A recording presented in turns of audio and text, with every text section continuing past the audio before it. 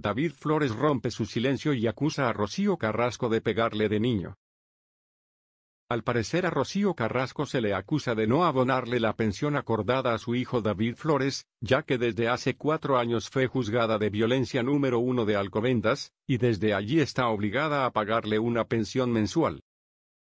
Por lo visto ha sido incumplida por un largo tiempo, pagándole la cuota mensual con menos de lo que se le había interpuesto e incluso hasta el punto de no pagar. Todo indica que Antonio David estaba al tanto de si los pagos se hacían o no. La fiscalía acusa a Carrasco. Las acusaciones comenzaron desde que el joven no había estado recibiendo la cantidad de dinero acordado, lo que hizo que su ex esposo Antonio David Flores la demandara. El fiscal a cargo del caso llegó a considerar el delito de abandono de familia, que puede ser penado por un año de privación de libertad y 24 meses de multa.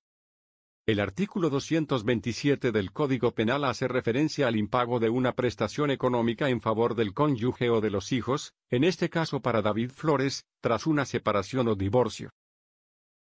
Dejar de pagar durante dos o cuatro meses consecutivos la prestación económica hacia su hijo puede ser castigada.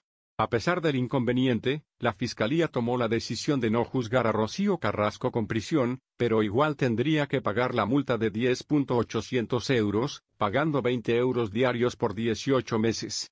La Fiscalía también le exige a la misma 8.200 euros por las pensiones atrasadas entre el 2018 y 2021, más intereses, dejando igualmente el caso abierto. El largo proceso judicial de Carrasco y Antonio David la demanda interpuesta por Antonio David Flores contra Rocío Carrasco es otra de tantas, ya que se han acusado mutuamente por los daños que se han perpetrado uno contra otro. Se ha dejado claro que su hijo está dispuesto a retirar la denuncia y renunciar a la pensión con la condición de que sus padres dejen de demandarse mutuamente. Esto quiere decir que esta no es la primera denuncia que Rocío Carrasco recibe por parte de su ex esposo. Teniendo en cuenta que estos se han demandado varias veces, Rocío Carrasco va a la victoria, porque le ha ganado tres de las tantas demandas que se han estado sobreponiendo entre los dos. Las demandas comenzaron con Rocío Carrasco al acusar a su ex esposo de maltrato físico y psicológico, llevando al mismo a defenderse y llevar el caso hasta un jurado, dejando así el comienzo de una guerra entre estos que por lo visto no ha terminado.